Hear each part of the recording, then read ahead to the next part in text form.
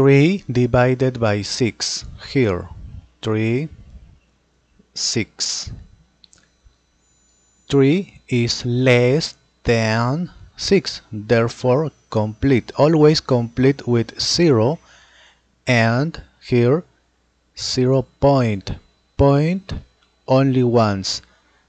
30 is not great is not less than 6 therefore with 30 6 multiplied by 6 is 36 is greater excessive therefore another number. 6 multiplied by 5 is 30 30 is not greater than 30 therefore okay.